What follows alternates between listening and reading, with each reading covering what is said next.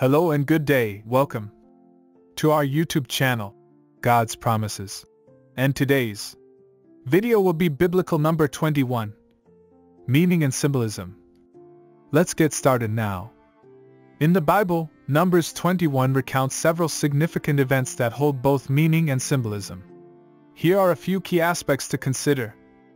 The bronze serpent, in Numbers 21 4-9, the Israelites complained against God and Moses in the wilderness. As a result, God sent venomous snakes among them, causing many to die. When the people repented, God instructed Moses to make a bronze serpent and raise it on a pole. Anyone who looked at the serpent would live.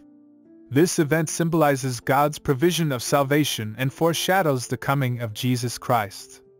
Just as the Israelites looked to the bronze serpent for healing, Jesus compared himself to the serpent, stating that whoever believes in him will have eternal life. John 3 verses 14 to 15.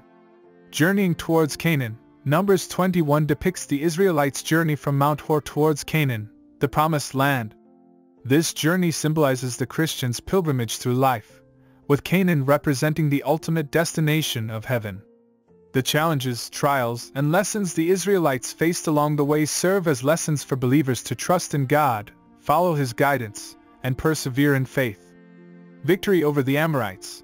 In Numbers 21:21-35, the Israelites engaged in battle with the Amorite kings, Sihon and Og. By God's power, the Israelites triumphed over these enemies and gained possession of their lands. This victory signifies God's faithfulness in fulfilling His promises and His ability to grant victory in the face of seemingly insurmountable obstacles. It encourages believers to trust in God's strength and deliverance, even in the midst of challenging circumstances. Overall, Numbers 21 emphasizes themes such as salvation, repentance, faith, journeying towards the promised land, and God's faithfulness. It provides lessons and symbolism that can be applied to the Christian walk and the relationship between God and His people. Thank you for visiting us today.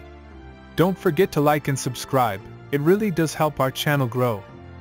Looking forward to see you back here for our next video.